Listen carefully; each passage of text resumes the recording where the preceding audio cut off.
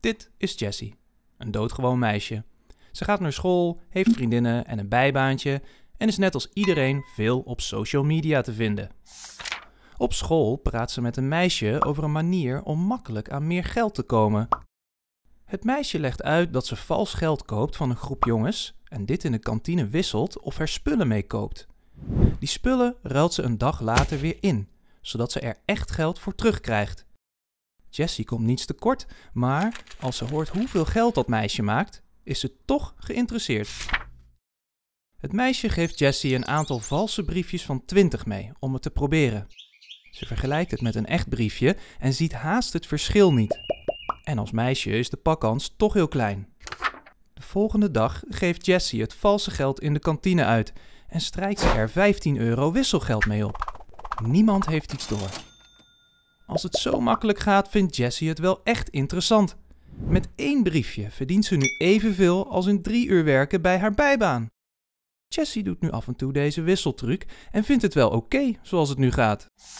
Maar enige tijd later neemt het meisje Jessie mee naar de jongens.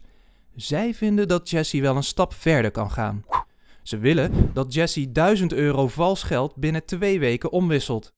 Ze hoeft het valse geld niet meer te kopen en mag 200 euro wisselgeld zelf houden.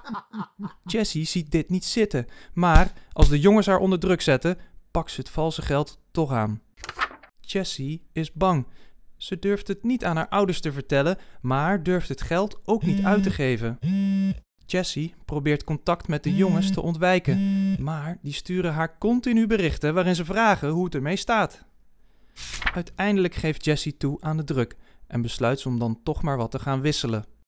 Waar het haar eerst nog wel een kick gaf, vindt ze het nu alleen nog maar doodeng. Twee weken later heeft Jessie 300 euro schoon verdiend en nog 700 euro vals geld over. Ze wil alles aan de jongens geven en er niks voor terug. Ze willen gewoon vanaf. Maar daar gaan de jongens niet mee akkoord. Ze eisen de volledige 1000 euro terug in echt geld en geven haar een week om alles te fixen. In de hoop de situatie op te lossen, pint Jessie haar spaargeld en geeft dit aan de jongens. Maar ook daar nemen de jongens geen genoegen mee. Zij hebben in haar geïnvesteerd en ze doet er veel te lang over. Als compensatie willen ze er nu 500 euro bovenop.